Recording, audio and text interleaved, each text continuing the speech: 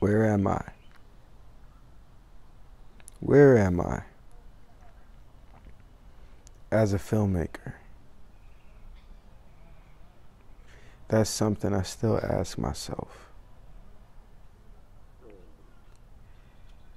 It's not something easily explained. For me, film has always been in my life, but at a young age, I couldn't have known right away that film would be my life. Growing up, there wasn't a lot of options.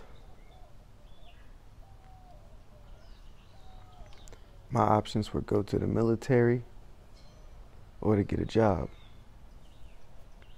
So for many years, I worked in food services all the time and working these jobs, jobs like Texas Roadhouse, McDonald's, a couple mom and pop shops. I picked up a skill,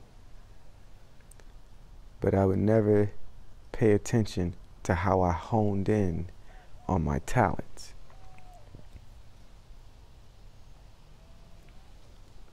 I wouldn't know that during those peak periods from 8 to 10,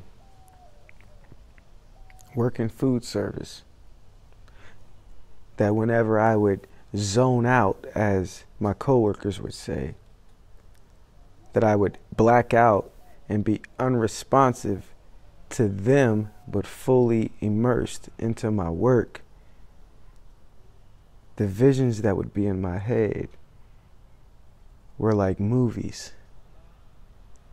I could see food runners coming and going, steaks flipping off the grill and onto a plate, baked potatoes searing in a toaster. But to me, was all a scene made for action.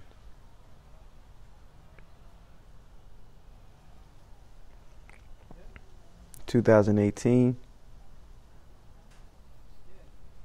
I made the decision that I no longer wanted to work in food service and that I did want to pursue a career in motion pictures.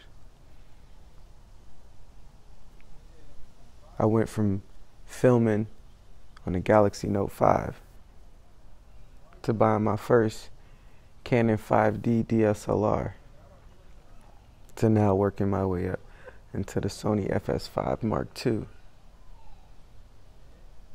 Looking back at the timeline, it could it could seem like I achieved something. I achieved a lot.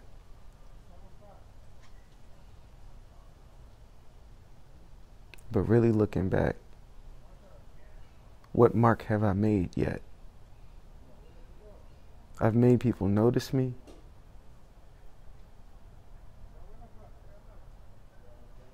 and yet people understand me. But what mark have I made yet? I see myself doing great things.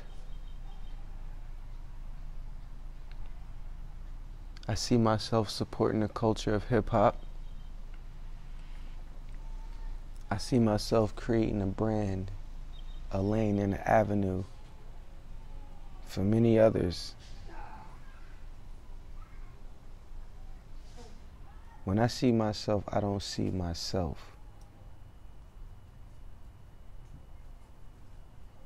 I see what's to come of me and my company.